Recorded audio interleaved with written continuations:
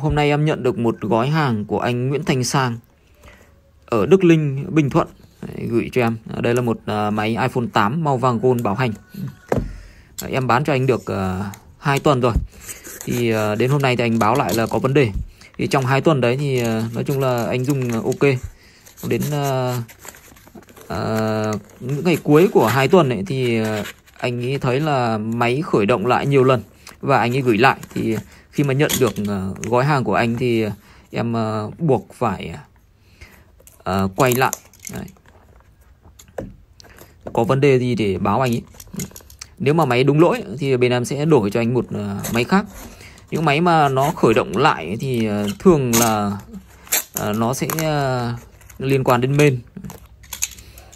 Mà trong trường hợp liên quan đến main mà sửa main thì nó mất hẳn cái giá trị của máy. Đấy, nên là bảo hành trong cái trường hợp này thì bên em à, rất là thiệt hại mọi người ạ. Thiệt hại nó vào tầm khoảng một triệu rưỡi mọi người nhé một triệu rưỡi. Mà trong khi đó nếu mà sửa mên ấy, để mà gửi lại khách hàng thì bên em chỉ tốn khoảng à, 200 300 nghìn thôi. Rất là đơn giản.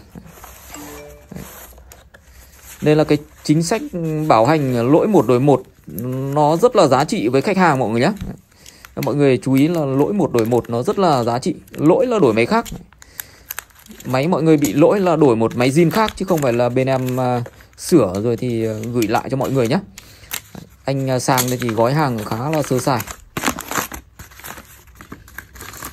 Tuy là nhiều lớp đấy nhưng mà um, chống sốc không được tốt ở hai bên đầu. Anh ấy chỉ bọc ở ở thân máy thôi còn hai đầu máy là, là hầu như là không có chống sốc. Khi mà chuyển đi thì bên em gói rất là nhiều cái lớp túi bóng uh, xốp nổ chống sốc mọi người nên là dù có va đập ừ, cũng không có vấn đề gì cả. Gói như thế này là cũng hơi sơ sài. Vậy.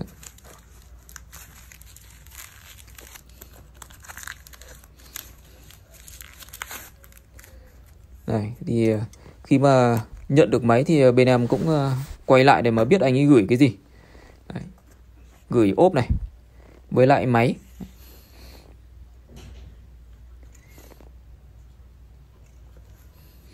Đấy, tem à, của Tú Vân thì vẫn còn mọi người nhé và máy thì à, không có dấu hiệu à, rơi vỡ gì cả. Bây giờ thì em sẽ kiểm tra quy tím. Xem là anh đã đánh rơi cái máy này vào nước chưa?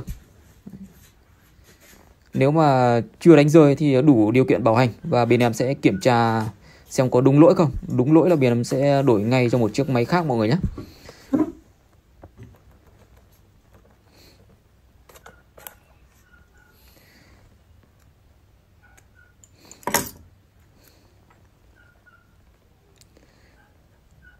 màn cảm ứng ok này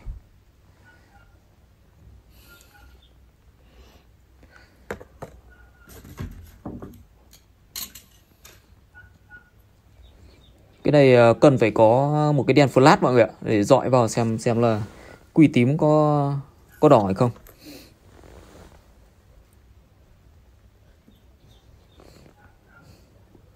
Rồi ok rất là tuyệt vời. Đấy, máy đủ điều kiện bảo hành mọi người nhé Đấy, em kiểm tra xem đúng lỗi thì em sẽ đổi trả. Chiếc máy iPhone 8 anh Sang gửi về bên em kiểm tra thì ờ, thấy là có lỗi thật như anh Sang nói thì ờ, đủ cái điều kiện bảo hành thì bên em đã gửi lại cho anh sang ờ, một cây iPhone 7 tại vì iPhone 8 lâu nay bên em không ờ, nhập được máy zin mọi người ạ. Đấy, mà máy thì phải zin nguyên bản thì bên em mới bán. Còn nếu mà bên zin màn zin bình thường như thị trường đang bán thì có rất là nhiều nhưng mà bên em không nhập. Thế thì đây anh ấy chốt một cây iPhone 7 có số email là 6068 có giá là 3 triệu 3 thì trước đây cái cây iPhone 8 kia bên em bán cho anh là 4 triệu 3 như vậy anh lấy cây ờ, iPhone 7 có giá là 3 triệu 3 thì dư đi là 1 triệu Đấy. Đấy, tức là anh ấy chọn một cái máy nó kém giá trị hơn thì em phải trả cho anh là 1 triệu đây em đã chuyển khoản cho anh 1 triệu đây mọi người ạ Đấy. Đấy. chuyển đến anh Nguyễn Thanh Sang này số tài khoản đây mọi người nhé Đấy. và sau đó thì ờ, đây em đã gửi ờ, máy đi đấy. Đấy, thì anh ấy đã nhận được. Đấy. nói lời cảm ơn. Tức là bên em hiện tại là chưa có iPhone 8 thì anh nói là khi nào có cây iPhone 8 báo em mua cây nữa nhé. Đợi lâu em xài iPhone 7 đỡ. Tức là anh ấy muốn đổi lấy iPhone 8 nhưng mà bên em không có iPhone 8 zin nên là ờ, không có máy đổi cho anh ấy. Thì ờ, bên em có iPhone 7 thì ờ, anh ấy lấy tạm con iPhone 7 sau đó thì nếu mà có cái iPhone 8 thì bên em sẽ báo lại và ờ, anh ấy sẽ lấy thêm một cái iPhone 8 nữa. Thì ở đây em cũng ờ, nói cho mọi người hiểu là một chiếc máy như thế này. Máy ờ, nguyên zin chưa bung. Bên em chuyển đi là máy zin. Và bên em đã kiểm tra rất là kỹ. Thì trong cái quá trình kiểm tra nó thì nó không phát sinh ra lỗi mọi người ạ. Đấy, thì trong cái quá trình anh sang dùng khoảng gần 2 tuần thì nó cũng không có lỗi. Đến khi mà uh, Ờ, đến tầm độ khoảng 14 15 ngày thì nó mới phát sinh ra lỗi. Thì ờ, đối với hàng điện tử thì ờ, không ai chắc được 100% là nó không có lỗi mọi người nhé. Đấy, tại sao sinh ra bảo hành đối với những chiếc máy điện thoại này khi mà bên em bán ra bên em phải bảo hành? Hoặc là các bên khác cũng uh, phải bảo hành. Như thế giới di động cũng phải bảo hành. Đấy, người ta bán máy mới người ta còn phải phải phải bảo hành. Huống chi là em bán máy cũ. Đấy. chỉ có cái là bên em bán hàng zin ấy, thì cái tỷ lệ bảo hành nó sẽ rất là thấp mọi người thì uh, theo như em thống kê nó vào tầm độ khoảng 1 đến 2 phần trăm thôi. Tức là trong khoảng 100 máy bên em bán ra thì cái tỷ lệ bảo hành nó chỉ vào khoảng 1 đến 2 máy phải gửi về như thế này thôi mọi người nhé. Đấy, lâu lắm thì mới có một chiếc máy ờ, gửi về như thế này. Đấy. đấy thì em cũng nói cho mọi người hiểu. Trong cái trường hợp lỗi này thì nói chung là bên em cũng ờ, sẽ nhận lỗi và bảo hành ờ, chú đáo cho mọi người.